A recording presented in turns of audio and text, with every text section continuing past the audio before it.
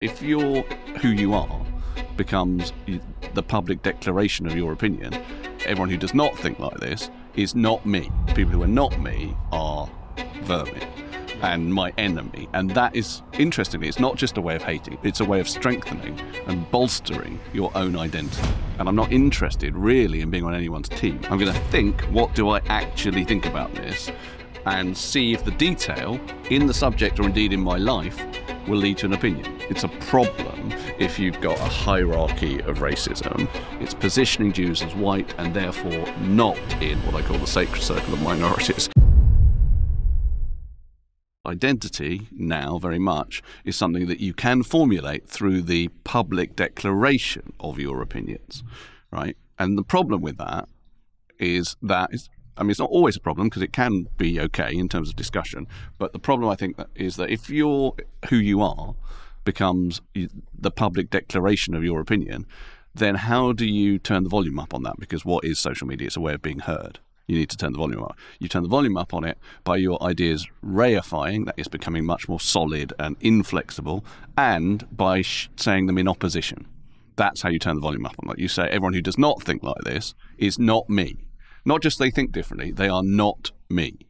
And hum- humans, I think there's lots of evidence for this, tribally, the way they tend to create identity, and you can see it in religion, is by saying the people who are not me are vermin yeah. and my enemy. And that is interestingly, it's not just a way of hating; it's a way of it's a way of strengthening and bolstering your own identity. Do you think that was probably an evolutionary trait that helped us in tribes? I, I, should we wait for that to go? Yeah, I guess it adds, I always wonder um, it adds to the heritage. See, what's happening is you're being arrested by the police for free speech because we're in 1984. you guys. know what? That would blow up the internet though, because if if I've got you're a famous name, and if suddenly the police came in and, and I'm here, and I'm going like, well, if I was being arrested, and you're going, what's that? What have I been invited on? Yeah. And we sort of kept that on. It would be. It would be, That'd be absolutely brilliant, but it would be staged. A fellow, well, that well, unless it actually happened. yeah. A fellow YouTube uh, uh, yesterday, I spoke to Alex O'Connor. Uh, he was he was known as Cosmic Skeptic. He's a famous sort of vegan and atheist. Um, he had a, a thing with Peter Hitchens recently where they argued and right. Peter got up and walked out. And because what, he, what did he get up and argue, walk out about? Because it seems to me that Peter Hitchens must be walking out of like many things. It look it was bad, and it, because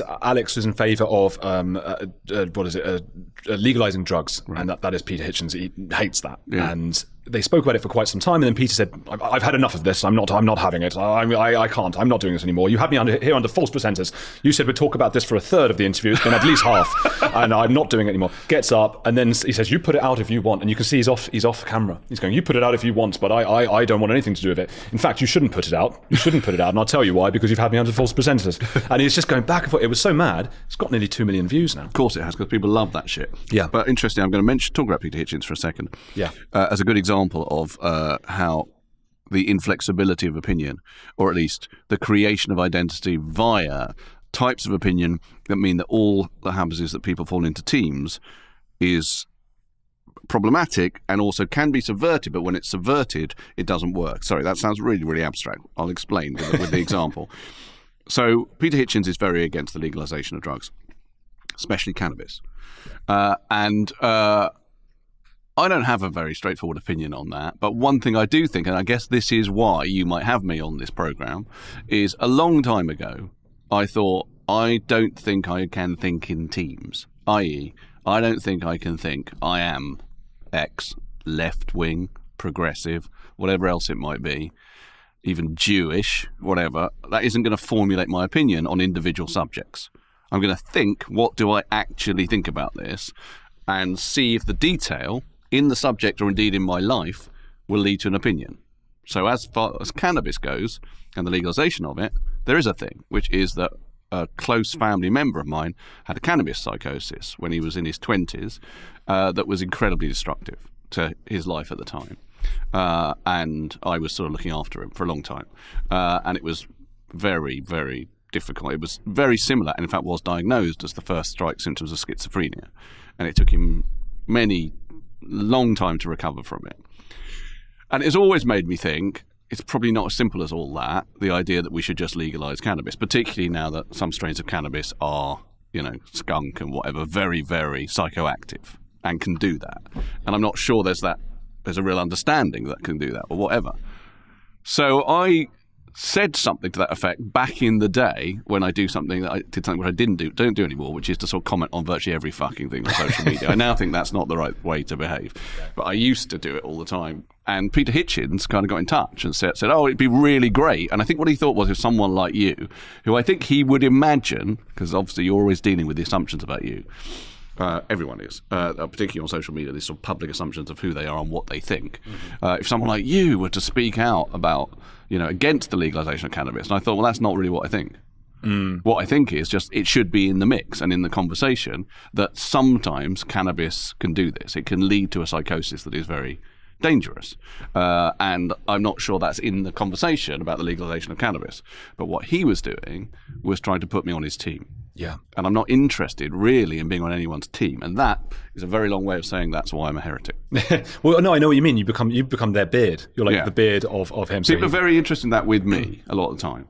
I suppose people well, are, like, like, I wrote a play called God's Dice, um, which is about religion and physics, uh, and which I think is a good play.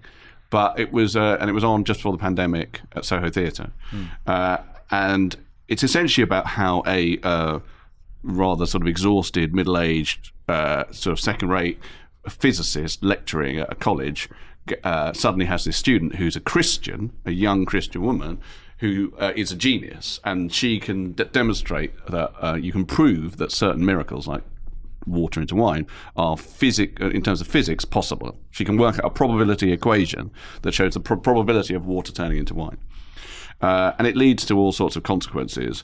Uh, and it got very, very mixed reviews. Uh, and I'm just going to say this, which sounds incredibly uh, self-aggrandizing, but it, it, got very mixed reviews from critics who many didn't understand it. Okay. One critic who really didn't understand it was Quentin Letts, who gave it a four-star review in the Sunday Times. Hmm. He gave it a four Out star. five. five. Yeah, yeah, No, no, he gave it a really glowing review uh, in the Sunday Times, which which is a good thing for me from a commercial point of view. But he completely didn't understand the play because he thought it was a pro-Christian play, ah. uh, a, a pro-God play, and also kind of a pro-Middle England play, right? He thought it was like, and ended up writing a long thing about how he felt like empowered as a person who believes in sort of church bells, and I think he said devil kidneys on toast, and the whole sort of right. Middle England thing. And in the review was this sense of David Baddiel of all people has written mm. a play that demonstrates, you know, sweary comedian David Baddiel has written this play, which makes me feel, and people like that. They like to feel that they've sort of poached someone who they think is from the other side. But my position is, a, obviously he'd misunderstood the play, but thank you anyway, Quentin, for the sure. for the start. But also, I am not really on anyone's side except my own, which sounds selfish. What I mean is my own intellectual side. Yeah. Well, Christopher Hitchens, uh, I'm rereading Hitch 22, so the brother of Peter, uh, called it double accounting. And he was always double accounting. He was sort of a Marxist, but then he sort of half almost voted for Thatcher. Yeah. And he was back and forward. And I suppose even double accounting doesn't isn't nuanced enough. Uh, it's not as nuanced as what you're saying, which is because double accounting is two sides, and you're saying, well, no sides. Just yeah. let's see what, no, what's I, what. And I think Christopher Hitchens, who was brilliant in many ways, but I, I would still say you kind of know where his uh, mm. positions were going to fall on yeah. most subjects. Um, and I would say that I try, without wishing to say that, oh, I'm much more unpredictable than Christopher Hitchens, I'm not saying that. But I, in my own way of being, when someone asks me a question about a difficult subject, I think, what do I think about this? I don't think mm. here's an ideological map I have pre-prepared, which fits in with my identity, and I can fit that onto that subject. And the, the, the, pattern finder in me is trying to work out some some of where you stand. So, for example, when you repeated the names Andrew Doyle and Peter Boghossian a few sentences later, I thought it was unlikely that you would have been able to do if you didn't weren't already familiar with them. And I'm not really very familiar with Peter Boghossian. But I you were able to his name. Said, I just remember that you said it. Well, I have, I've seen it. I've seen it on social media. I know who Andrew Doyle is, yeah. uh, but I don't really know who Peter Boghossian is. Okay, it was a good. Well, you've seen the name. I'm then. sorry, okay, but he's probably watching because he like is part. He does world, watch sometimes. Part of this world. He does I, watch. I apologise. He's a smart academic. Peter Boghossian. Peter was just so you know he was the he was one of the guys who did that uh, with Helen Pluckrose and James Lindsay. They did the uh, this sort of fakery where they put forward about 20 uh, articles to scientific publications that were had very sort of uh, woke ideas. So yeah. uh, Mein Kampf is a feminist manifesto. Here's right. why, and I think like 10 of the or like a big percentage of them got accepted onto very prestigious publications, and right. so they were showing that there wasn't a, you know wasn't a, enough scrutiny in academia. Right. Yeah. Okay. That's who they are. Right. Um, can identity politics then, given what you've just said, can identity politics work, or are we going a little bit wrong? Well, identity politics as an idea um, is, I guess, speaks of that that problem. And when I wrote Jews Don't Count, um, it's premised on the idea that identity politics has a crack in it as regards Jews, uh, because of identity politics, which may be reductive to what people think it is, but if identity politics is about, okay, how can we support and uh, vulnerable identities? Essentially, it's about how can the, how can progressives who would adhere to identity politics uh, define the world in terms of vulnerable identities that they need to ally with. That seems to be what identity politics is. How can we identify vulnerability and say these are the ones we should adhere to and, and support and ally with, and think of the world in terms of their position. Let's let's look at the world not from if it's a white, you know, progressive, middle class, whatever person looking at the world, like how can I empathize with this other position, right? Which seems like a good idea and probably is a good idea in some respects, but it has a crack in it, which is that the identity Jewish is difficult to locate within that world if what you're thinking about is just a power dynamic. In my documentary, Jews Don't Count, uh, Jonathan Safran Foer, I can't remember whether this made it into the final cut, but it should have done if it didn't. Jonathan Safran Foer said the problem is a worldview which sometimes comes from identity politics, where the world is just victimizers and victimized.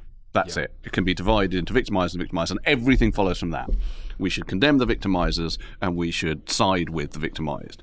And the problem is, where are Jews in that equation? And somehow or other, despite thousands of years of persecution and discrimination and exile, uh, and obviously genocide, Jews somehow exist are hard to imagine as the victimized.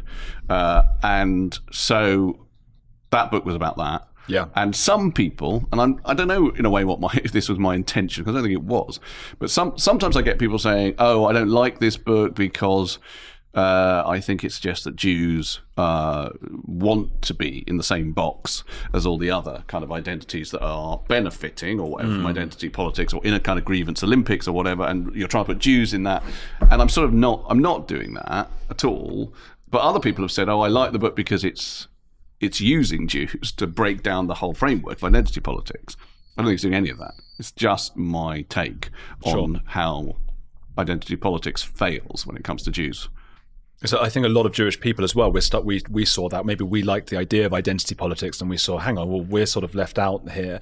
But then, in hindsight, I started to think, in hindsight, was it not inevitable that once humans started going, okay, this is an, we're going to really focus on whose identity is more important in a hierarchy, that Jews, for example, and maybe some others, would be left out, and that would be a problem.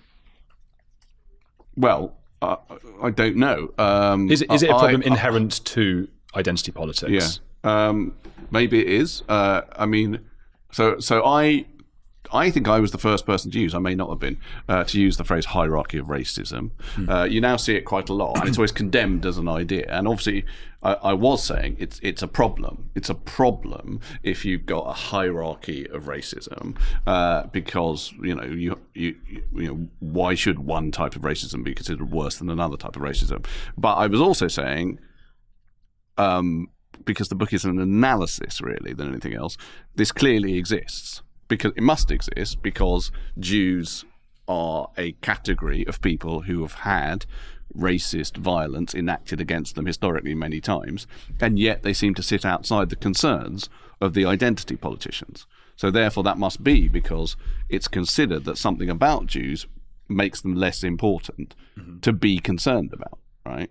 So you're you're probably right However, I actually think that identity politics in general comes from a good place and a useful place, which comes down to what we said right at the start with the Andrew Doyle and Peter Boghossian thing about swapping places, which is, I think, unquestionably, it is true, and I think anti woke people sometimes never consider this. It is true that until very recently, society in the West was really seen mainly just from one viewpoint, which was a kind of white, mainly male. Um, you know, I don't know if it where it sits totally in terms of class. I think that's complicated, uh, but certainly it was a a very white bread mm. kind of sense of ourselves of what say Britain was when I was growing up.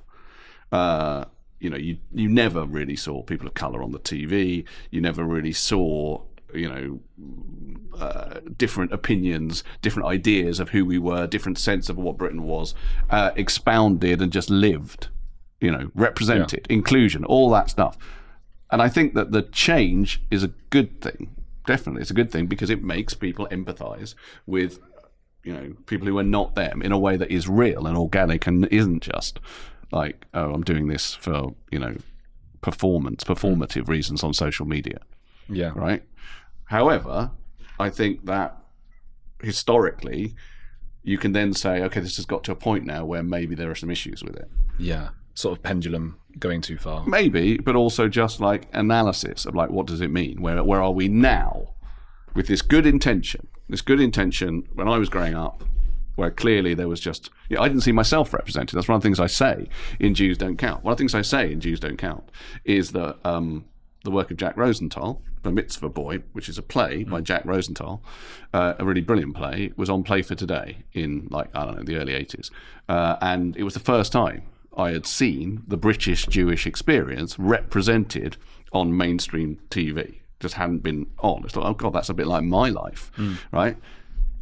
Now, in terms of the pendulum, uh, when I think I mentioned this in uh, uh BBC Four a few years ago, did a retrospective of Play for Today. It had many, many other examples of Play for Today later on, finding all sorts of minorities to celebrate and to include and to tell the British people that these people existed and had their own way of living, which is all good. It didn't mention Bar Mitzvah Boy. Bar Mitzvah Boy, which which at the time was very celebrated, was mm. just not mentioned because it is not in the present narrative that Jewish inclusion and Jewish representation is part of what makes a diverse culture a good thing. Mm. It's, which is mad. I mean, I don't know if I told you the full story of when I because I started off making documentaries for the BBC, mm. and uh, kept bringing them ideas after that. So I made a documentary about an exorcist in Argentina. The idea was I wanted to be a sort of Louis Theroux character who speaks different languages, and then I can go to these different places and do all that stuff. And they loved the ideas after the Exorcist film, but they said to me at every production company, we can do this, but you're going to have to be off screen, and we're going to have to get a minority on and basically pretend that they were the journalist doing this. Every production company said this to me. When was this? This was so I was between about 20, 24 and 31, I say. So so I'm 34 now. So uh, I eventually had to give up. But in that time, after a few years, I remember saying to a couple of different people, well, you know, I am Jewish. That is that is a minority. If it is a box ticking exercise, if and I didn't want to do that because I wanted to get by on the merit of what I was making for them. Uh, and I, I, remember one guy in particular was a producer who just laughed and he said, "If if I had to say what I really thought now, I don't think you'd like it." Hmm.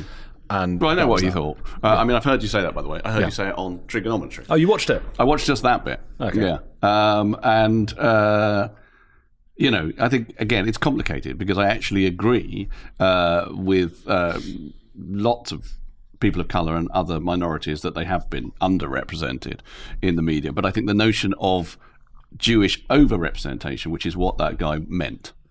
I'm just going to, I know you haven't mentioned his name, so there's nothing libelous, but I know I come up uh, uh, against this quite a lot, is that people, particularly in this industry. Yes. If we include this as part of the industry of Yeah, the, I'm, I'm there. Yeah. Well, I've never liked the word industry in adaptation the film adaptation, yeah, uh, yeah. with Charlie um, Kaufman film. Yes, yeah. Um, film. In which Nicolas Cage plays two parts. Yes. Well, his brother, who's a writer, uh, sorry, one of the twins who's a writer, and the other one, the other one is always using the word industry to okay. describe, and he said, "Don't call it an industry," meaning it's not a fucking industry, which relates to Alexei Sayle's thing that he used to say many years ago. Alexei Sayle said, said uh, anything that calls itself a workshop that doesn't have sawdust on the floor ah. is shite. Well, I know um, how you feel about the monarchy, and it calls itself the firm, doesn't it?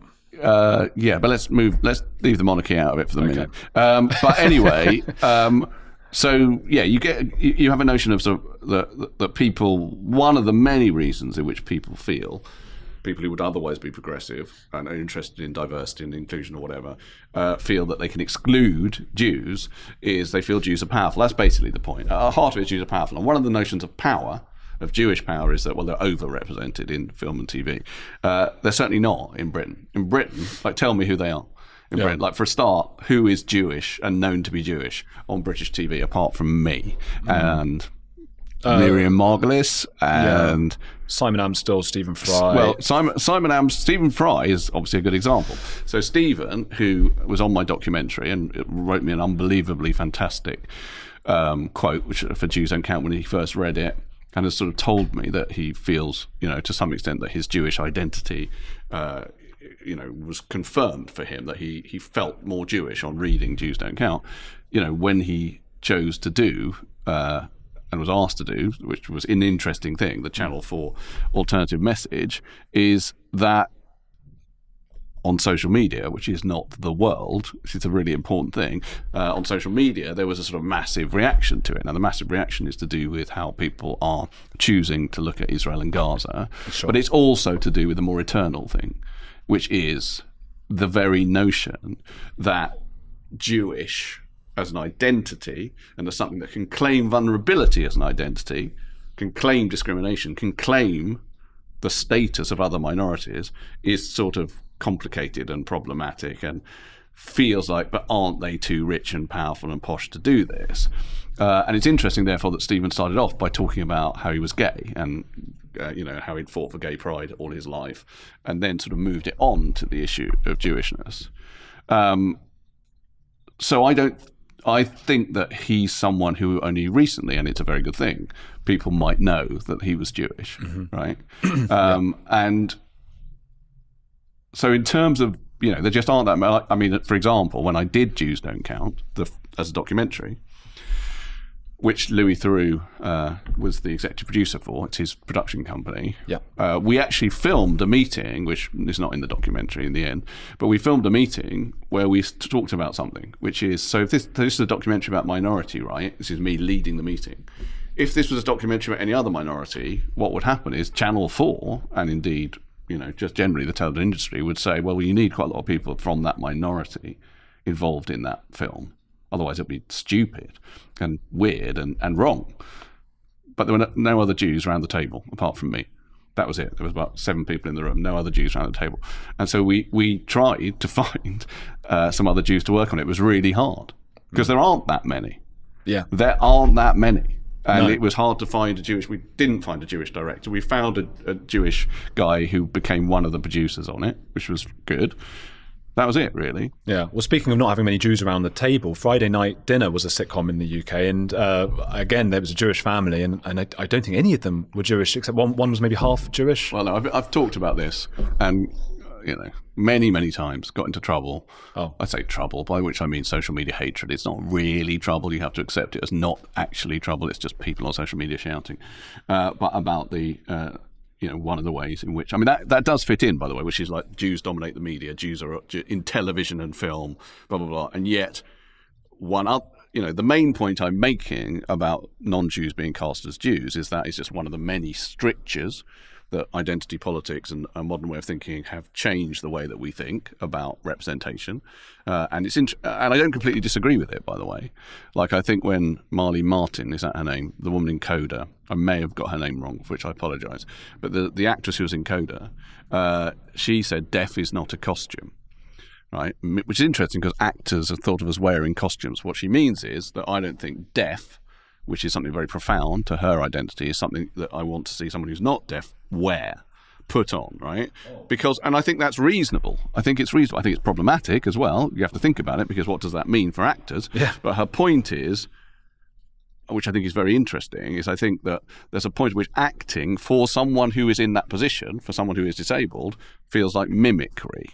And mimicry can very easily shade into mockery right?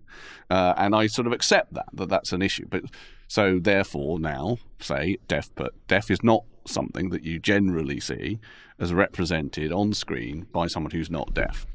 Jews all the time. All the time. Uh, happens all the time. And my basic point is that's just another way which Jews are left out of the strictures of identity politics. And it's not have to say this a thousand times. It's not that I think uh, non-Jews can't play Jews. I think it, the issue is what does it say about Jews in general that they are considered that they don't need that, that, that it's not necessary. But having said all that, to come back to your point, there's another thing, which is if Jews are all over the media, Jews dominate TV and film, they'd have been able to find Jewish actors, wouldn't they? Quite easily. Yeah. for these TV shows and films with Jews in them. It wouldn't have been hard. In Oppenheimer, never mind Oppenheimer, Einstein, right, which is uh, played by oh fuck, it's gone. Um, The man who looks vaguely like Einstein. no, but we. I know. I want to know. No, so this is a senior moment. um, Tom Conti, Right. He's played by Tom Conti, who some people think is Jewish, by the way, because like quite a lot of like Eddie Marsan and Yes. like people think that there are some people who play Jews a lot that they are Jewish. Louis I mean, Theroux as well. Yeah, to be fair to Eddie Marsan, he's made it very clear that he's not. But Tom Conti is not Jewish. Einstein, I would say, is probably I would say I don't know if you think this as a Jew, uh, is maybe the most iconic Jew ever. Well, yeah, yeah. I would say. I mean, uh, you know, like. You know, if you wanted to mention iconic members of other minorities, they're sort of, you know, probably more sort of empowering political figures. sort of, but I would say, if you ask me to name who I am most proud of at some level, even though it's complicated, and it's always complicated with Jews because his discovery has led to atomic bombs. But I think, like, isn't it incredible that Einstein was Jewish because Einstein had insights that are up there with kind of Galileo, and it's mm-hmm. extraordinary. But he's played by a non-Jew, so there's a thing. That's a thing, which is like if it was another minority and the most iconic member of that minority was played by someone who's not a member of that minority, that would lead to internet outrage and possibly the film being brought down. yeah. No chance of that with Jews. There's simply no chance of it. But also, it's not even the main part in that film, and you'd have thought you could find a Jew Yeah. to play it. You should be able Uh, to. unless Jews don't dominate it. Just unless the possibility is Jews do not dominate those industries and are not overrepresented in them. Yeah. That's the thing. Um, with regards to Einstein, I was just thinking about this the other day because I, you know, I've got this relationship with Argentina. Is that a problem? There's an African um, church, absolute nutcases, who we didn't know. I don't think you should say that. Um, but well, they are. I really don't think you should They're say that. evangelical. They're like they're doing all the speaking in tongues. They're nutcase. I mean, that, to me, that's a nutcase. I'm not. I, I shouldn't have to not. Say, do you think I shouldn't? No, well, I don't know. I don't know them. I haven't been in Apparently, they tried to run over the owner of this with their car. Um, Okay. When they asked, like, when are you going to stop on this particular day? Or something. Okay. So, so I don't know. Maybe we won't include that though. Yeah. Um, also, you might get run over for. Yeah, but have to calling- find me for calling first, them mate. nutcases. Well, then you're next door.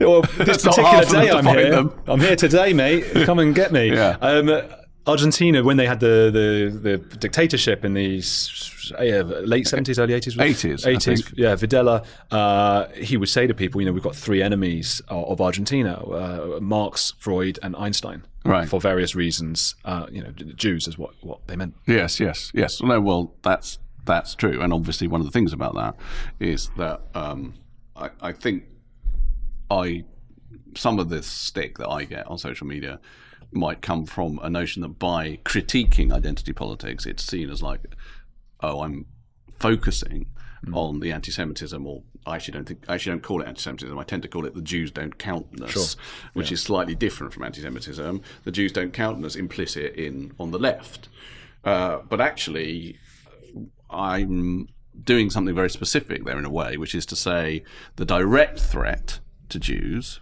Right, comes from other places generally. It comes from the far right. It still comes mainly from the far right. It also comes from Islamists, obviously, but it comes from the far right a lot of the time. The most extreme uh, massacres of Jews. So the most extreme massacre of Jews in America uh, over the last few years is the killing of 11 Jews in Pittsburgh in 2018 by a far right gunman. Interestingly, radicalized on Gab.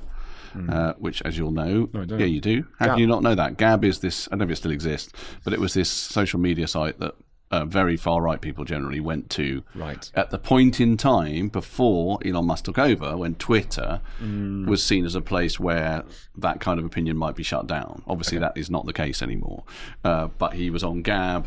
Um, he believed in the um, uh, replacement theory, the Great Replacement Theory, yeah, yeah, and your, the Great Replacement Theory is incredibly live and active, particularly in America. And at the heart of it, for anyone who doesn't know, your viewers will know, I think, it's a belief that Jews are secretly ma- masterminding immigration and multiculturalism in order to undermine the DNA of the Aryan white races in order to take over the world. Obviously, it's utter bollocks and fits in with the protocols of the Elders of Zion and many other things. But he killed 11 Jews in Pittsburgh, uh, this far right gunman. And my point is that the the sort of IRL danger of the Jews don't count position is that it's neglectful at a time of rising far right antagonism towards Jews. Now it's complicated in all sorts of ways, but if the basic idea of the progressive allyship conceit is we are a sanctuary, right? We are a place where minorities can feel welcome and not under threat, but we don't really care about Jews, then that's the problem because Jews are under threat. Mm. I feel like Jews might be a litmus test for when an ideology is going wrong. Yeah. And, and I think I think you're right about. I mean, obviously, the, the it's almost to me like I don't focus too much on the right because it's so obvious to me mm. that it's awful. I don't talk about Trump because I just think what call it. Oh, I can call Trump an idiot. Or mm. the, you know how easy is that? Mm. Whereas some of the left stuff is more insidious. It's more friends of mine at university yeah. who are really going for it. And we've gotten to a point right now where you know, as we know recently, there were three presidents of universities who just said that calling for genocide of Jews is uh, not against harassment and bullying rules there or, or, whatever, which is absurd. And then people say, oh well, well it's not what exactly happened though. It's not. So you, you mentioned this to okay. me that we might talk about this, and I said, "I oh, will have to speak about it for 15 minutes." It, I, I, think I said, or to contextualize it. Sure. So I'm going to have to contextualize it because the truth, and that's all I'm interested in, right? Okay. All I'm interested in, and this, I mean, I guess everyone might feel that that, that is all they're interested in. I don't know. I, I don't know. Oh. Anyway, I am only interested in truth. Yeah. Uh, and what I find with truth more and more, particularly as social media uh, makes truth blurry because it's social media is more interested in preconceived ideological truths, okay, set, shouted from whichever f- silo they're shouted from. Uh, but I am interested in what is the, the actual truth tends to be in the detail, and the detail of that particular thing is that what actually happened was was that Elise Stefanik, I think that's her name, the mm-hmm. Republican senator, yeah. Uh, was talking before the clip that I put on social media. I put this clip on social media, the one that everyone saw, and I said Jews don't count, and it got eleven thousand yeah. likes and whatever. Uh, uh, she uh, was talking specifically about chance of, I think, globalize the Intifada. Sure. Uh, and that's very important, by the way, because well, I'll come back to why that's important. But she was talking about chance of globalize the Intifada, uh, and then she said and this is where the video sort of appears. Uh, you know, that's a call for the genocide of Jews, and you know, you're allowing that to happen. Why? And why don't you call call that harassment and bullying? Uh, and since then, the pushback against that, the push for all three presidents who, who responded in the way they did, has been oh, that was deliberate muddying by that Republican senator who sure. is a big Trump pro-Trump MAGA, MAGA, MAGA, MAGA, MAGA, whatever you pronounce yeah. it. Uh, that was a deliberate muddying of her in order to put those progressive presidents in a difficult position, because because the pushback says that Intifada just means struggle. Right, that just a, means. Yeah. Hang on, me, I, am so across this. Right, Intifada just means struggle, and so therefore saying that it means uh, it's calling somehow for the genocide, genocide of Jews is a deliberate right wing muddying of the situation. So here's the problem, right? There's a number of things there. Number one, well, I don't understand why none of them said, I don't accept, in, in the bit that actually is on video, I don't accept that globalize the intifada or calling right. for intifada means genocide of Jews. I don't accept that. I don't accept your position, therefore I'm not going to accept that. And, and then say, of course, a straightforward calling for the genocide of Jews yes. we would say was unacceptable. But we don't accept that calls for intifada is that. I don't know why none of them did that. Well, that's right? what I'm wondering. That's well, what I think the same. But I know the context. Well, but, but, they, well, but you didn't put it just but, now. But they it's really because, important because they were still asked afterwards, over and over again, specifically is specifically calling for the genocide of the Jews against your policy. That was the question. These are smart people. Yeah. Well, as far as I could make out, Mm. And I don't fucking know because it's. You know, but as far as I can make out, they were all worried about the legal yes. position that they were in, and I think they were also worried about something else, which is all those people were progressive people. Uh, they have a student body who want to protest, want to do pro-Palestinian protests. Sure. They don't want to be limited in what they can chant, and so therefore they were trying to weave a way through the legalistic stuff of that, the question they were being asked, and the idea of like, oh, we've got this you know student body that we don't want to sort of mm. get get ourselves wrong with, and so they sort of ignored the fact that the question they were being asked was clearly like, no, well, obviously we can't accept that, but they don't. None of them do that. So there's something else I need to say, which I don't think anyone else has said, and I could well be wrong, is I've seen lots of people, and there was an article in The Guardian recently, and I've seen lots of people on the internet say Intifada just means struggle, and so therefore yeah. Elise Stefanik was being contrived and insidious by smearing those two things, by joining up those two things, by saying. So, firstly, of course, that's disingenuous because intifada may just mean struggle, but also it relates specifically to, to examples mm. of. Uh, you know, conflict well, in the Middle East. The conflict word struggle, with the historic connotations in particular. No, but specifically, uh, conflict in the Middle East has involved two inter- intifadas that have involved the killing of Jews, as, yeah, as well right. as obviously the killing of Palestinians. Yes. You know, so that's what they relate to. That's, Mein, that, Mein Kampf struggle. Yeah, well, that's also true. Uh, but I am more interested in the word globalize. That's what oh, I think is amazing that no one's talked about this. As far as I can make out, I could be wrong. Right? Is that like all the argument has been like, oh, Intifada doesn't mean this Intifada, but yeah, the word globalize is the one I find more problematic because globalize something that's happening in the Middle East is what I have a problem with and what I've always had a problem with. Yeah, is regards like the status of Jews, because as far as I'm concerned, it is not the case with most struggles, most awful conflicts happening miles and miles and miles away from where that minority lives or whatever, that therefore you are you have a free license to attack that minority because of that struggle. Now, I'm not saying that is exactly what happens. It isn't exactly what happens with all sorts of you know pro-Palestinian activity, but obviously there is a lumping together, and it's particularly happening at the moment of Jews in general with what's happening in the Middle East. Yeah. Right. And it seems to me that calling calls for globalizing globalizing the Intifada mm. is a way of justifying, or certainly can lead to, justification of attacks on Jews elsewhere. And th- in those terms, I think that's sort of nothing to do with the incredibly tiresome American politics behind the ways in which that moment's been interpreted. Mm. It's interesting. There's no globalized struggle against the Chinese for what's no. happened to the Uyghur, exactly. Uyghur, Muslims. Really bizarre that it's just on the Jews. But yeah. but this is an example, I think, of why the left is just as dangerous as the right for Jews in this in this instance. Uh, it might be. I mean. Um, I don't know. I don't know. I mean, I, I, I yeah. you know, I, I, what I'm trying to prove here is how complex that situation is. The, the, the central thing, again, that needs to be understood, which, sorry, moving on a, a little bit, but not that much, mm. is I don't know if you saw the SNL sketch. Yes. So the SNL sketch did something that was interesting but also quite depressing from a sort of Jewish point of view, in that it made the object of satire entirely the Republican yes. senator, who was sort of like a shrill, shrieking, mad person.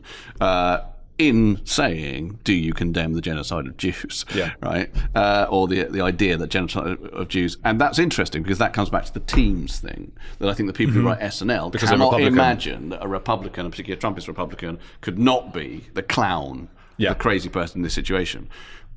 But here's the most important thing, and I've said this a few times, and I've said it in Jews Don't Count, whatever, is weaponization of anti-Semitism by the right does happen so weaponization of anti-Semitism by the right, yeah. which happens all the time as an accusation, especially on social media. There's this constant thing of like, uh, you know, oh, it's all been trumped up by the Tories, or it's all been trumped up by the Republicans, or whatever. Uh, and Trump was not meant to be a pun. There. No, um, I. It here's the thing. It does happen. I think there's an example in my book uh, where Matt Hancock, of all people, uh, I was watching him. This was on social media a few years ago. there was a film of him talking about the NHS, and he was struggling. He was in real problems, and so he just started going on about Jeremy Corbyn and anti-Semitism. And the crowd, who were mainly left wing and or people who work for the NHS, get really angry. And it's obviously a stupid card that he's playing. It's obviously that. I don't believe Matt Hancock cares about Jews. No, right, or much else, or much right. But it, so when people watch that, they think like, oh yeah, you know, that's that's just a sort of pawn. That's a political card he's playing. If a Jew watches it, you think two things. You think that's a card he's playing, and the sound of those people shouting furiously, so angry about the very idea that anti-Semitism might be a thing is frightening. Mm. They are a mob who the word anti-Semitism has led to them going very, getting very, very angry. So this is what needs to be understood, right? That Republican senator was probably weaponizing anti-Semitism. Sure. I don't know that much about her, but she seems to come from a position of like you know being very anti all sorts of woke ideas, and would be anti all those presidents for all sorts of other things to do with abortion and all sorts of things that they think and whatever. That does not make the anti Semitism involved in not really being that concerned about whether or not a call for genocide to Jews should be something that you should very, very strongly oppose. That doesn't mean it is non existent. Yeah. Both things are true. It can be weaponized from the right and it can be ignored by the left at the same time. And anti-Semitism as an issue should not be smeared, which is what happens all the time, by the idea of like, oh, but this is what the Tories or this is what the right wing care about. This is the right, this is the racism, this is the discrimination they care about. So therefore, it is meaningless. That's a jump that the left make that is Yeah. deeply problematic. I agree with you. I completely agree. But and the- the other thing with weaponization, we're always hearing that, oh, that's just being weaponized. I mean, that is what politics is. They are supposed to see the faults mm. in the other side and then go at them and try and get people on their side for that. I mean, that's just what happens. And unfortunately, on the left, there clearly has been a lot of anti Semitism. And the right, of course, they're going to use that. Why, Yes. why, it's an open goal. Yes. Why wouldn't they do that? So- yeah, well, yes, but also there has, and there's also there are examples of the right inflating it. Sure. but that doesn't mean it doesn't exist. Yeah. It's part of again comes down to like, you know, if you ask me what I have as a mantra, as any kind of you know motto to live by, it is the truth is always complex, which it is. It almost always is. Even things that we would like to think of about good and evil, as, like even that idea of victimizers and victimized, is an idea of good and evil, but that's not simple. It's complicated, and the truth is complicated, and that's one of the ways in which it is most simplified on social media is like oh well if the right wing in any way sort of apply that process to this issue the issue vanishes and that's not true I think that that's a big problem with identity politics, and I know I understand that intersectionality, when it first came about, was was supposed to be a lot more nuanced, and it was this idea that uh, there's a difference between how a black man in a factory is treated and paid, and a black woman, right? So you have to look at not just race but gender and how everything interacts together to understand all these complex things. But I'm not sure that humans are capable of really applying that in such a nuanced and balanced way and that's what's led to a lot of binary thinking. That's why i would i would just dismantle the identity politics. I think that's where the left personally where the left's going wrong. Uh, i think it's leading to more divisiveness. I think it's led to what happened with those presidents. Um, well i would see i wouldn't completely at all. I mean i would say that one of the i think i sorry i've said a couple of times. Uh, i think i said this in and that's probably a bit annoying. No. uh, it, mike yarwood who died recently uh, who you won't know about but he was a big impressionist in the 1970s he used to do an impression of uh, james callaghan the labour party Right. prime minister and his catchphrase was i think i said this at the brighton conference. And it was sup- supposed to show what an old buffer he was and i feel that when i say i think i said this. Uh, um, in, in in jews don't count. Uh, but i think um, I think that the that it is important to see that the gains of those of those things are a thing, right? It's a it's a real thing to feel that you have been not included, not represented, and that your way of looking at the world has not been seen, right? But I so I don't completely agree with you about mm. the dismantlement. What I do say in it is that you get a strange fragmentation of what the left is. So the left used to be very much about class and economics and a sort of old style of politics. And the idea that I mean, I could be wrong about this, but it seems to me that I don't know where that is now in left wing politics. I don't know where a focus on, you know, the obvious inequities in our economic system and the class system, it, it- doesn't seem to be focused on. That may be unfair, by the way. That might just be the way the media is, but it doesn't seem to be focused on. So the shift in what it means to be progressive and progressive itself does that, doesn't it? Because I would say progressive as a word means something different from left wing. And what's the difference? Left wing, in my mind, in my old 59 year old mind, left wing implies that you are bothered about things like trade unions and, Yes. you know, uh, work regulations and how to make things better for the vast majority of people in any country in the world who are economically deprived. That seems to be the. But progressive seems to mean something else. Which is that those ideas of deprivation or of non-inclusion and non-representation are not certainly not only economic. Yeah, yeah. I think that's that was a big change. Uh, yeah. personal. So, but, but in terms of your dismantlement, I'm. I don't know. I don't know.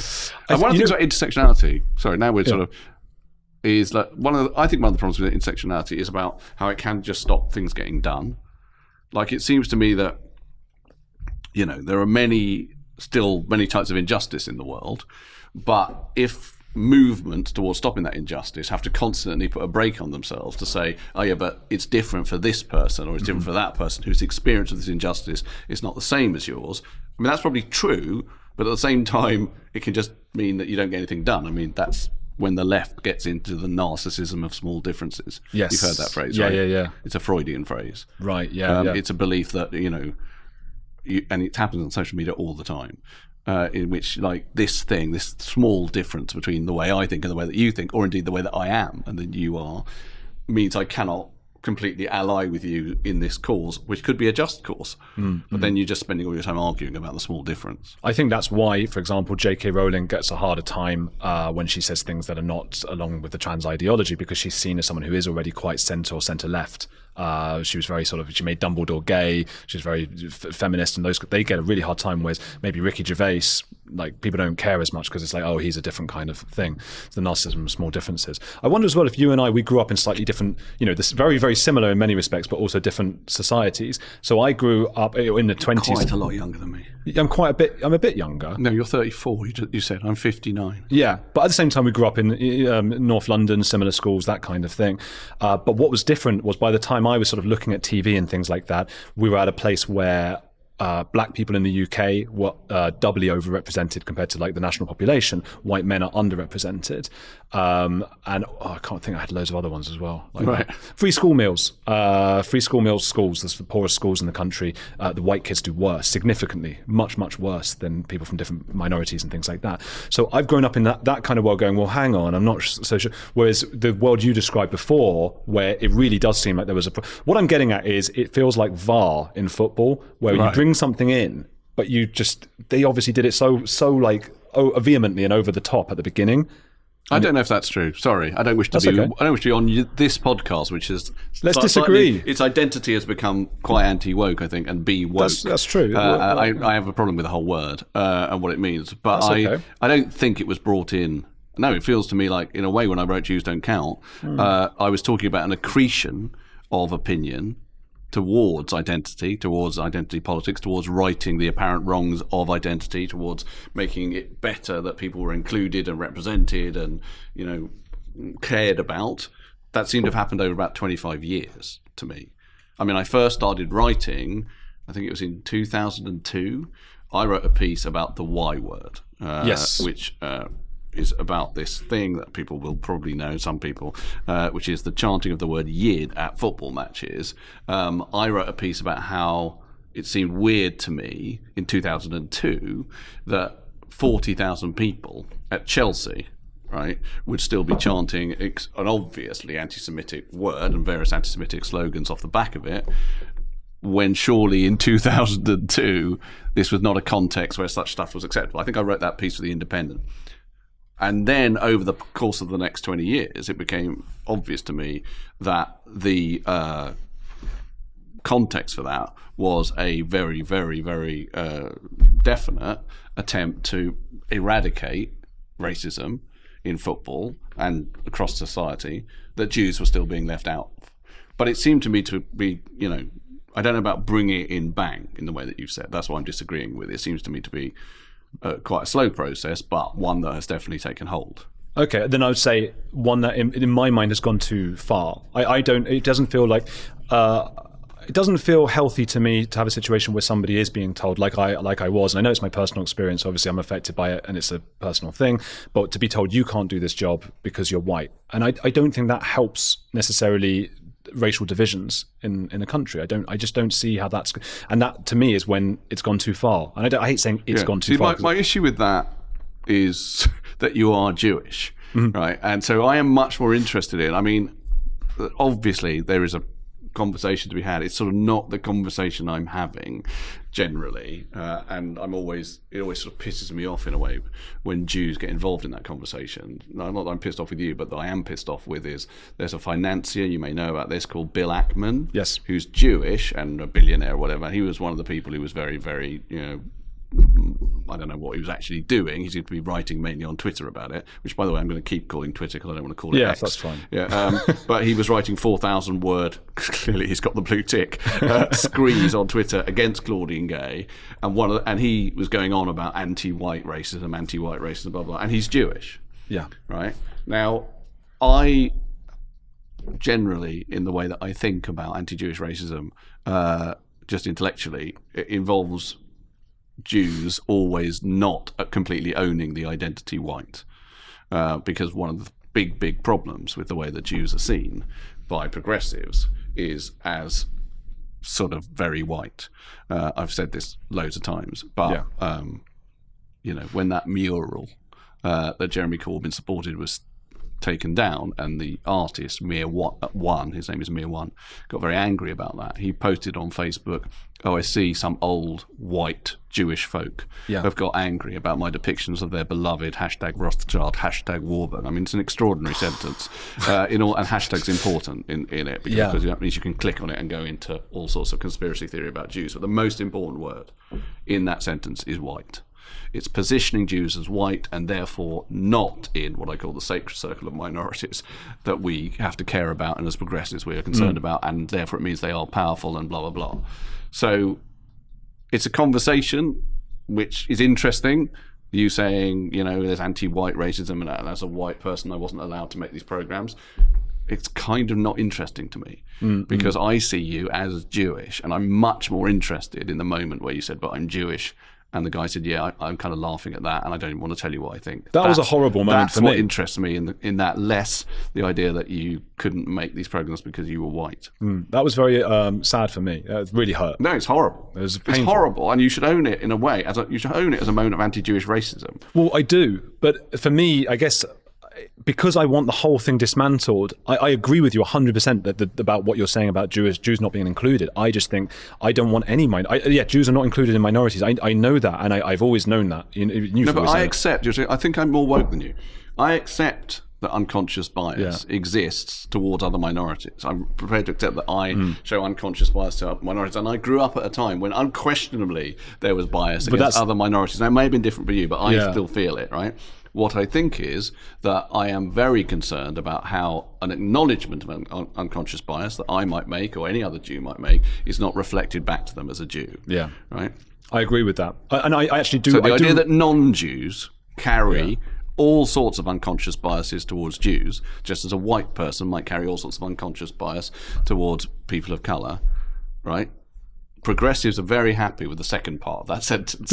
They're not happy with the first part. Well, you and I, we could trade war stories for hours, couldn't? About about being treated badly by left, well, people who are very progressive uh, for being Jewish. That's part of as well why I thought, you know what, I can't have the whole thing. I think is just bollocks. I think it's bollocks, and I think it's people who See, want to I, I don't really agree with that. I don't think No, the I whole thing is bollocks. I know. I think I think the whole thing is complicated and flawed, and maybe in some ways has gone too far. Obviously, we could all find examples of where it's Sure. gone too far, but whatever. But I I wrote Jews don't count.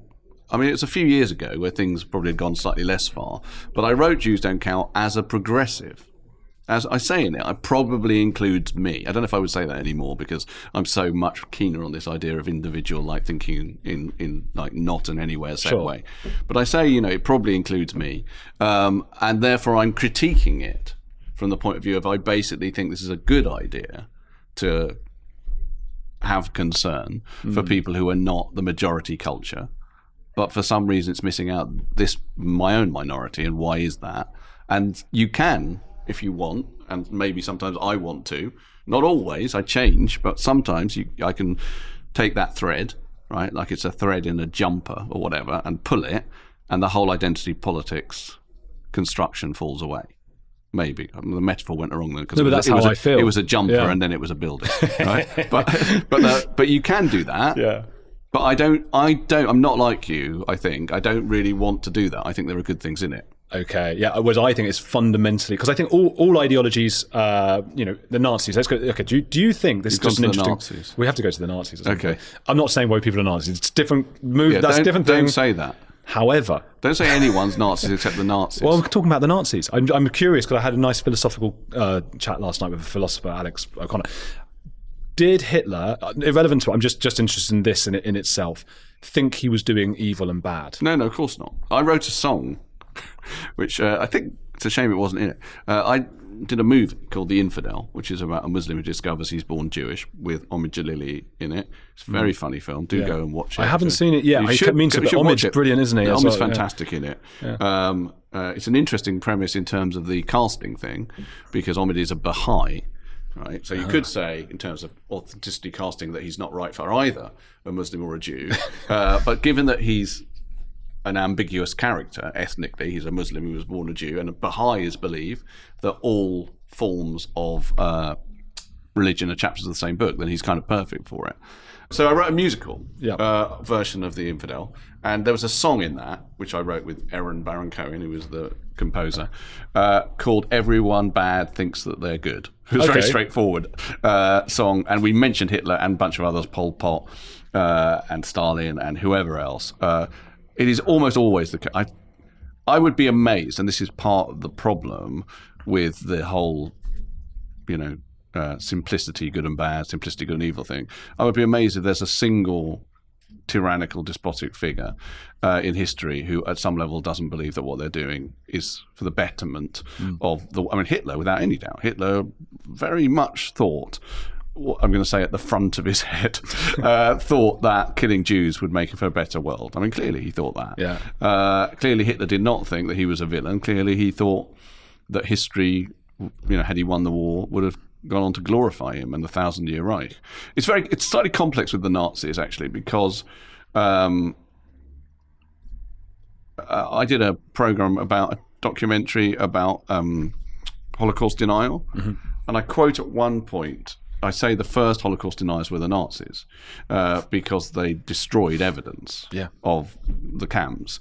And before that, um, Himmler does a speech to S to the SS in which he says uh, something like, "This is a glorious chapter in our history which will never be written." So there's this sort of, and again, this is about complexity, this sort of subconscious understanding there that it is shameful, but a resistance to it at the same time. Or that the others will think it's bad, even though we know it's yes, good. that's right. Yeah, that's right. That's that's correct. There's a sense in there at the corners of his understanding that the world is going to condemn this, but we know it was the right thing to do. That's right, and I think that is a position that a lot of people think and almost treasure, mm-hmm. perhaps that they're the ones. I mean, that's what mm-hmm. conspiracy theorists do. Yes. the idea of like, you know, the world is against me, and that bolsters my own self-image. Yeah. Yeah, I think I have a very nihilistic view of the world, and I think humans, when they can, will in great numbers do really horrible things, will commit atrocities. I agree with that. And so, given the chance, so that's why I think we have to be really careful. And I, I know you agree with this as well with with our ideologies that seem like they're good. And I actually do agree with you that there is unconscious bias um, against all sorts of minorities. I definitely think that's a thing. My concern is by trying as a large group to to affect that and make things perfect. We're going to have to employ some authoritarian measures Yeah. and leave some people out. It's not just No, I, Jews as I well. agree with that. Um, Nihal has been talking. I, uh, I don't. I don't want to pronounce his last name in case I get it wrong. Do you know Nihal? I know him, I know him well. He's interviewed me many times. Can you say his I don't, I name? don't. I can't know, but Nihal has been talking about Asians. Uh, you know, not many Asians at the BBC. And I did look at the stats, and there, there, there do seem to be on-screen Asians. It's about as many as in the population, but it, compared to uh, black people of, I think, African descent, it, it, it's um, you know they are overrepresented much more. Uh, there are no stats for Jews, of course, but maybe Nihal can feel now like, well, hang on, why aren't we as overrepresented? And I just feel it leads to this real, as, as you've coined it as well, hierarchy of of, of race and, and yeah. I mean, well, so again, that's not an area that I'm going to Sure. take the bait in, but but I agree with you basically that social engineering. Well, I agree with you in two ways without completely taking the bait of what you want me to say. Uh, social engineering um, to try and make a world somehow free of unconscious bias towards minorities in which everyone's included and represented or whatever is a sort of utopian idea and almost definitely will lead to things that are not true and not real and possibly destructive. Um, so that's definitely correct. You're right about that. Apparently, all forms of, of sort of top-down social engineering have have problems. The other thing is, I think within minorities, uh, there should be there there is complexity and there is difference, and you know, so for example, I interviewed this uh, woman called Ayishat Akanbi. Do you know who she is? For my no. social media documentary. No, no. So Ayishat Akanbi is this brilliant. Um, she's of Nigerian descent. Uh, stylist who says like unbelievably clever kind of haikus mainly on Twitter, on social media. But a lot of them, uh, if you break them down, are I don't know if this is entirely fair to her, whether she would agree with, but I think she would, sort of anti woke. Um, and what they're calling for is sort of, you know, individual com- complex understandings of the societies in which we find ourselves rather than the imposition of huge blocks of humanity are this or that or whatever and we need to treat them like this or that whatever rather than thinking well there might be very big differences in the way that she perceives that situation or someone else perceives that situation and that I think is something that happens I think that mm-hmm. you know there's something patronizing about the idea that all minorities uh, can be categorized as X, Y, or Z by a sort of betterment sure. idea. I agree with that. And without their cultures taken into consideration. Yeah, you know, cultures what, what and individuals someone, and ways yeah. of thinking and all the rest of it. One example of that is. I mean, the, one example, right? Oh, one yeah, good example is, I, I've never said who this is, uh, and it, it's complicated who it is, but anyway, uh, when I first. Um, talked about the Y word, a very progressive friend of mine uh, said to me because in the film that we made, me and my brother made a film. Uh, we used footballers from many different minorities talking about how the N word and the P mm-hmm. word had been eradicated. Ledley King was in it. Ledley King was in it, absolutely. Ledley King, Gary Lineker was in it, yeah, um, and all sorts of other people were in it, including a woman footballer. Mm. Um, and it began with Ledley King saying there used to be a word beginning with N that people used to chant at me. They don't do it anymore, right? Yeah. You know, uh, I mean, obviously, it might happen, unfortunately, in a few places, but generally that would be the case. Uh, and then uh, an Asian footballer talks about the P word and whatever, and then uh, I think it's Frank Lampard yeah. who says that, but there's a word beginning with Y that you can hear all the time. Then you cut to people chanting the Y word. Uh, and so that is how that film began. And then a very progressive friend of mine said, but the Y word isn't as bad as the N word and the P word. And by the way, the whole Jews don't count mentality can perhaps be summed up in that statement, mm. right? Because you and I said why, and he said because Jews are rich, and he said it very wow. breezily, very breezily, like we all know this to be true, right? We all know this to be true, and we all know, and so there's a thousand things wrong with that. You know, the idea that abuse of Jews is okay, right, because of this imagined status. The idea that Jews are rich, which isn't in fact borne out by the statistics or whatever, but even if they were, that somehow that should allow for racist abuse. There's all sorts of things wrong with it. But one other thing that's wrong with it is the idea that black and brown people can never be rich. yeah, yeah. Like that's incredibly patronising. It's horrific. Yeah. I agree. I I wonder. I'm just thinking now. Like, if I got really upset with the left, a progressive friend recently uh, who's did a similar thing, and I don't think I'd have been as bothered by someone who was more open to making fun of. I mean, okay, what I want to ask is can you, is there room to make fun of people's identities? Because there sort of was. And maybe that can lead to bad stuff. But also on the other side, you know, this was a guy who said these things to me. He just kept, said a few things every time we went for lunch or whatever. He was just like, "Oh yeah, you're not going to pay, are you?" That kind of thing. Right. right. It so happened I wasn't paying. No, I was paying. but um, he was making those kind of. And I thought if that was someone else, it would still annoy me because I think oh, it's, it's so boring joke. What a boring joke you've said. But okay, but because it was somebody who I know is so sensitive to every other minority, that's what really that's what hurt me. Was he a member of a minority? No. Okay. American. Okay. No. That's not a minority. No.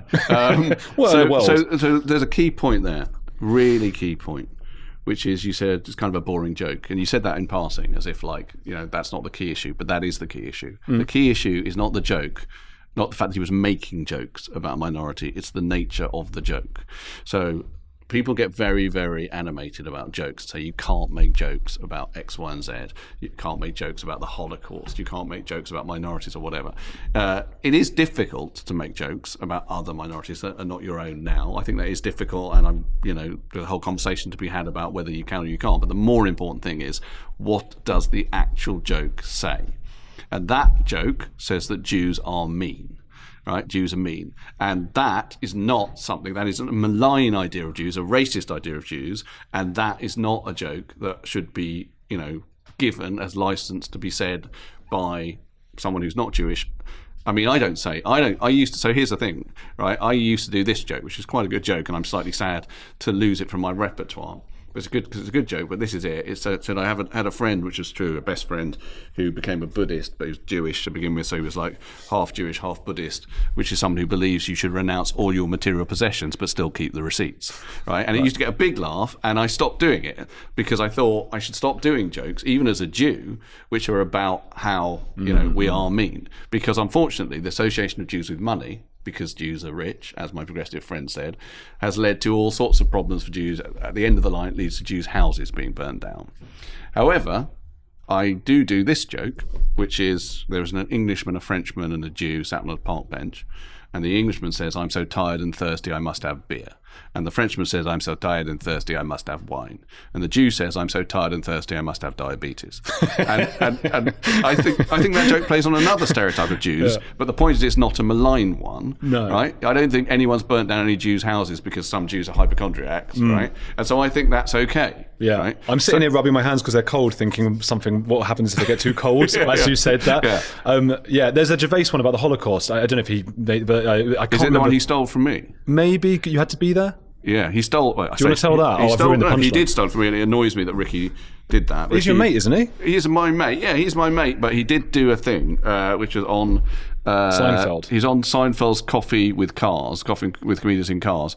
I think I haven't actually seen it, but people have told me. Yes. So he, I mean, I say it's, it's not my joke because that's not true. I heard it yeah. from a Jewish academic called Devorah Baum, who's a friend of mine, mm-hmm. uh, and I think they were discussing whether or not on Ricky and Jerry's show whether uh, they could you could do jokes of Holocaust, and he mentioned this one. What annoys me that he didn't say, uh, it's just purely shallow. He didn't yeah. say I heard this joke from David Baddiel because he definitely did. Can you tell? Uh, yeah, the joke is uh, it's a good example of a Holocaust joke uh, that you can definitely tell because the idea that you can't tell jokes about the Holocaust, you have to deconstruct the individual joke. So this joke is beautiful. Uh, so after the war, a Holocaust survivor dies of natural causes, uh, goes to heaven. When he gets to heaven, God asks the survivor to tell him a Holocaust joke. So the survivor does. The survivor tells God a Holocaust joke. And God says, That's not funny. And the survivor says, Well, I guess you had to be there. Mm. And what I love about that joke is A, obviously, it's not a dehumanizing Holocaust joke, of which there are many, right? Uh, and it also is very profound as an atheist because it says something which is like I don't believe in God, but if I did believe in God, I might have that belief taken away from me uh, by the well, years 39 to 45. I mean, there's a much simpler version of it actually, which is that Larry David, brilliantly. Uh, I mean, I don't know if I should tell this joke. Okay, it's your show, so I will tell it. But yeah. just to make it clear, this is a terrible. Not him. He's this. What he did was great. But on the same show, Harriet Harman I'm not going to tell the joke. The joke is a good example of joke I think I shouldn't tell. But Harriet Harman, who was trying to on this week, do you remember that used to be on with Andrew yeah. Neil? She was trying to talk about jokes and what jokes you can't tell, and she chose a Holocaust joke. Uh, I'm just going to tell the setup, and the setup was how do you get um, 100 Jews in a mini metro, mm. right? And I'll leave it to you okay. what the answer was, but it, you know, involved the ashtray, yeah, right? Um, and actually, Andrew Neil said, "Don't tell anymore. That's horrible." And it's an interesting moment because she was trying to say, but some jokes are horrible, and even in the telling, she was shut down. Whatever. Anyway, in the same week, I remember, same week, Larry David hosted SNL, uh, and he did a whole bit. Uh, firstly, incredibly edgily about how some of the names who were being Me Too'd at the time, the big names were Jewish, right, and how he found that difficult, but he talked about it. It's really kind of extraordinary. But then he said, but the thing is, Jews are very interested in sex. They're very interested in sex. And he said, if I was in Auschwitz, I'd been in Auschwitz, I'd still have been checking out the women behind the barbed wire on the other side. And then he does a whole bit about saying, hey, yeah, you, yeah, when this is over, you know, do you want to have some latkes? Do you want to go out? What do you want to do? And then he goes, what? What? Is it me or is it like the whole thing? Right. Yeah. And I love that bit. And do you know why I love that bit? A, it's funny. But really importantly, the mini metro joke, what does it do? It does the Nazis' work. It dehumanizes Jews again. Sure. What does Larry David's routine do? It humanizes those people. Yeah. It says they're behind barbed wire and they're destined for the gas chambers and they're being made into vermin, but they were interested in sex and dinner and they were funny. And that's what's beautiful about it. And both of them are Holocaust jokes. So my point is about your mate is he's doing a boring joke. He's also doing a joke that leads to the destruction of Jews very far down the line. Yeah. Well, I don't speak to him anymore. Okay, well that's good. not in like a not in like a we had a big because that's not the way I would ever do it. It was just like I just stopped sort of responding as much gradually over a period of years. It's interesting that you say he's. I'm interested in the fact that he's like almost exact type that I'm sort of talking to. Might be in, him. In, in Jews Don't Count. is yeah. Well, uh, uh, you know, when I wrote that book, when the film went out, I got like lots of Jews talking to me about it, and generally Jews in general are pretty lovely about it and sort of grateful that someone's articulating all this. But in a way, they're not the audience. I mean, they are the audience, so in terms of feeling less alone and feeling, but I guess the audience or the people that I'm supposed to be speaking to are progressives, and some progressives react very badly to the idea that they might have unconscious bias against Jews. Uh, Jeremy Corbyn, I believe, when this was put to him, no, a particular thing was put to him on news agents, uh, which is we Talk, I had been on it before, and I, I was talking about the mural, and I used the phrase because they asked me if he was an anti-Semite. I said not at the front of his head, uh, and that was put to him, and he seemed to get annoyed about it and said, "How does Jer- how does David Baddiel know what's at the front and back of my head? Is he my psychiatrist?" And Frank, when I told him that, said, "Does he think all psychiatrists are Jews?" Yeah, I was thinking that which, yeah, which I, I think was funny. But I realised something then, which is I should have used the words. I shouldn't have said front of his head. I should have used the word unconscious bias. Yes, I should have- language. I should have spoken their language because their language would say, I think it's possible that he has unconscious bias towards Jews. Because to say, well, I don't, is to say, oh, okay, so there's something different about this minority. Because I thought all members who are not of a minority might show unconscious bias to them, but somehow mm-hmm. not against Jews. Right. So, anyway, so most progressives, or some progressives, find it difficult to accept that they might. But one guy wrote to me on social media and said, that he'd read the book and he'd realised on reading it that he did harbour lots of assumptions about Jews, including the one that your mate, hot is no longer your mate, which is that they're basically all rich and comfortable and privileged and mm. fine. And that he would now try and rethink it and realised, he said, he realised that anti Semitism is the racism that sneaks past you. And that's true. I think that's what a lot of people find difficult and complicated about understanding what anti-Semitism is because it's not as obvious. You catch it on the edge of a remark. Yeah, you catch it on the edge of a remark. You catch it on, in really unconscious bias. I'm quoting, I think Hitchens. Uh, Right. I'm not smart enough to come up with those. You are pretty sentences. smart, actually. Uh, You are smart. You're thank quite self-deprecating. well, one one must one has to be. Yeah, I, I'm not. No. um, tell me. Okay, I do we want need to stop we because do I, I we- told my son that I'd be home for lunch. Yeah, just late lunch, late lunch. Okay, okay, okay. Let's go. I was going to ask you why you came on it because many uh, uh, ma- your legacy legacy doesn't sound nice. A mainstream persona. legacy. They've called it legacy media now. legacy media. that's- Leg- but legacy, I thought, as I said, it sounds like old, doesn't it? Legacy. yeah, but So- no, but I sort of am part of legacy. Your legacy media. Yeah. There's been a few. Jimmy Carr's done a few podcasts, like people's podcasts. Uh, Matthew McConaughey did as well, but a lot don't. Even when we get bigger views than a lot of the channels, why do you do it? You've been, you've been in Triggernometry as well. Why? What's what's it for you? Well, I did you because I like you, um, and I hadn't met you properly, and I thought it'd be interesting to talk to you. Um, I um, have some things to promote. Oh yeah. Okay. Tell me. uh, also, you get a chance to talk Yeah. on them. If, if truth is in the detail and the truth is always complex, then that is something that is quite difficult to get across on Lorraine, much as I like Lorraine. Uh, but when I've done Lorraine, it tends to be six minutes long. And sometimes she will ask me some quite complicated questions, but you get longer to express the complexities on, on these kind of things. Um, also, yeah, you know, I don't know if I am straightforwardly legacy media. I think I'm, you know, I, I I did I was an early adopter of social media, and certainly before, like I'm much less on it now. But I think there was a period when it was one of my main avenues of self-expression. Right. Yeah. You know, I, one of my shows, and that's what I'm. By the way, I'm about to plug. yeah. Well, One the- do as well. One of the it, shows. it subtly into this. Well, This will be okay. Well, weave it ruined in. it now by saying "do it." Do it. Do it. Weave it in subtly. You've made it self-conscious, uh, as indeed is. I was going to say. I think when I arrived, I said like, if you want to ask me what the main problem is now, it's that we are all self-conscious. That's what social media does. Hmm. Social media creates a paralyzing self-consciousness in all forms of speech. So even me, who is fairly unrestricted in the way I speak, like I am thinking about, oh, how's that going to play on social? Media? You're very media? self-conscious. I No, think. I'm not that self-conscious. I say what I think. But but you later go. What did I say? Oh, I did. I didn't mean that. What I said. No, that's because I'm interested in the truth. yeah.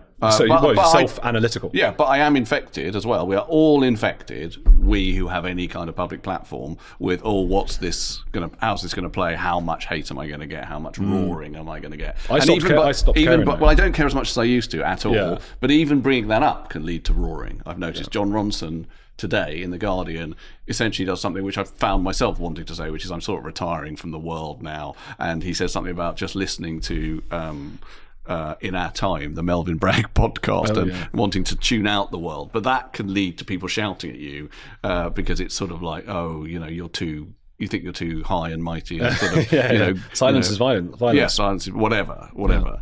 Um, again, I've forgotten what this point was leading to. I think it was leading to you telling us where people can find your work. Oh yes. Well, so one of the what it was leading to was the way I was going to very very subtly weave it in was to say that uh, you know a few years ago um, I was more active on social media and I used to treat trolls as hecklers and I eventually wrote a whole show which I had to do over the two legs of the pandemic called Trolls Not the Dolls uh, and actually I don't.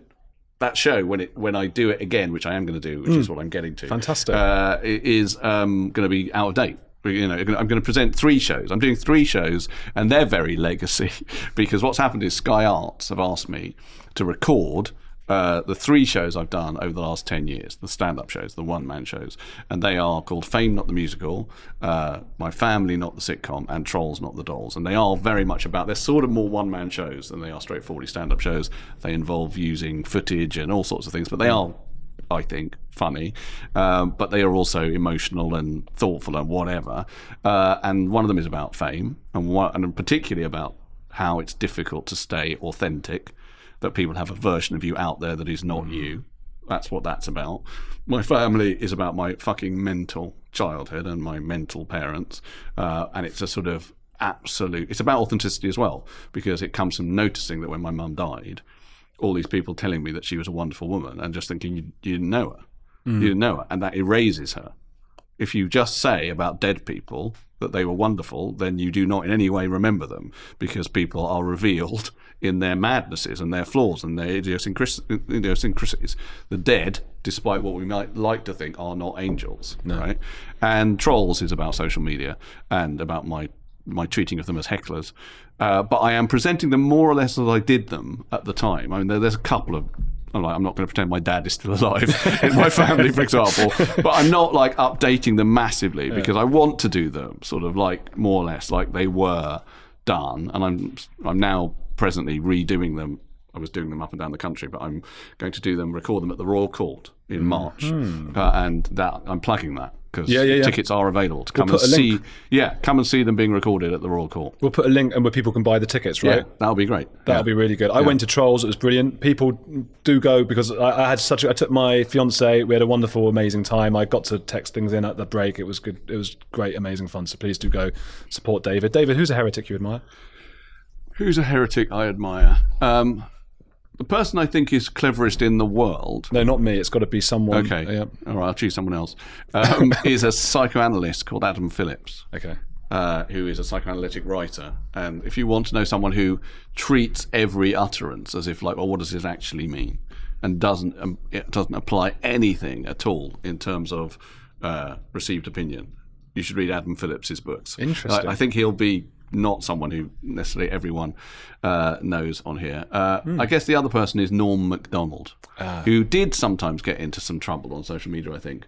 But uh, even though I'm, I've sort of moved away from stand up, although the shows that I'm doing are stand up, I don't know if I have completely moved away from stand up because even when I write Jews Don't Count or The God Desire, or indeed a new book I might be thinking about writing, which is about maleness, uh, they're quite complicated, sort of almost philosophy books at some level, but I'm speaking in them like a stand-up. I don't mean that they're always funny, but in a vernacular, accessible, talking to an audience kind of way. You have a way of being funny in serious topics, though. I've read, you know, quite a Yeah. few of your books, and Yeah, but despite that, so, so that's that was a sidebar about moving away from stand-up. But at some level, part of me is still enamoured by people who are unbelievably brilliantly funny stand-ups, and probably my favourite stand-up is Norm Macdonald, uh, who don't know if you know him. yeah, he, he's passed away, didn't Yes, he died about two years ago, uh, and he everything Norm did was funny. He was an unbelievably funny bone person, but also, and he was quite. I think you would quite like some of his less woke utterances. Yeah. The, the sense I have with Norm is that almost everything he said was just unfiltered, what he thought. And a lot of the time, what he thought was funny, but with an element of "I do actually think this," um, and in a way, I think he died probably just at a point in time where that started to become completely unacceptable. Yeah. Or at least if it's not unacceptable, it becomes something else, which is perhaps what Ricky is doing and what Dave Chappelle is doing, which is a self conscious idea of I'm going to say stuff that is unacceptable. Norm wasn't doing that. Norm was just being funny. Okay, yeah, yeah. I can enjoy, uh, you know, it's just left or right wing or what, you know, Stewart Lee. I can watch. Stewart Lee's brilliant. hours. I love Stewart Lee. No, Stewart Lee's brilliant. Stewart Lee's. The, the only thing with Stewart Lee is sometimes he does this thing like he's doing like a, and he does it for like half an hour. Do you know what I mean? no, He's- I don't know that. He does. He's done a couple of acts where he's talking about someone's talking rubbish. He's doing an impression, and he'll sort of go like blah blah blah blah blah, No, and he does it for like half an hour. Yeah. And I, eventually, I think I do, and it's sort of not funny for a while, and then it becomes funny again because he's been doing it so long. No, he does a thing where, where he does a, an impression and it will be funny forever. Or least sort of, will do it for so long that it won't be funny and then it'll be funny Yeah. again. Uh, I do think he's brilliant. I mean, he's like a nightmare. Uh, he's a friend of mine, but a nightmare. Um, uh, but he's, you know, he's the best stand up in Britain. Do you think? Yeah, I th- you got you have to listen to people with different different sides. Uh, James Acaster's also he's very woke. And Yeah. I, I, I I laugh more. He's really funny. He He's really, really funny. Gets me going. So I think you have to. And then Gervais is uh, Yeah, very, funny as no, well. obviously. Dave Chappelle, I never found. No, he funny. is funny. I think think, he can funny? be really funny. Yeah, he can be. Are you in with the crowd? You have like all the friends. You, you, Not with Dave Chappelle. no. Uh, I American. don't know him. Uh, I, well, I know most of these people. Yeah. Uh, I, you know, yeah. Friends with some of them. That's cool. That's Yeah. cool. Um, yeah, people go to David's stuff in the links and everything. Go and there's going to be an amazing show as well. So we'll put that up at the Twitter and everything. Oh, I'm actually doing Yes. on when I record all three shows, which is quite unusual, kind of a weird thing. Yeah, I've done the goodbye now. What are you- Sorry, no, but I just want to say, so it's three nights Yes. at the Royal Court. I'm doing a different show every night, twice a night. I see. Okay, yeah, Right, so it's going to be quite a marathon at Yeah. my age to do that. yeah. Are you going to be okay? I don't know. Do you want me to fill in I for might some be of the dead, shows? and I watched a show yesterday, uh, not a show, a documentary about Ronnie O'Sullivan. yes. in which Damien Hirst said that Houdini said uh, that if you want to sell tickets for something, say a death might occur. This is at the edge of existence, and the person doing it might at some point die. Yes. Right, and that's obviously how Houdini sold tickets. But his point was Ronnie O'Sullivan has an element of that. That when Ronnie O'Sullivan plays snooker, there's something so edgy and dark about the way that he plays, and he's depressive, whatever. That there's a sense in which a death might occur. That was his point. I don't know if it's absolutely true, but it maybe it is about Ronnie O'Sullivan. Anyway, it's true enough about my six shows, uh, no, nine show, no, six shows at the Royal Court because I am old enough to How are you possibly die. Fifty nine.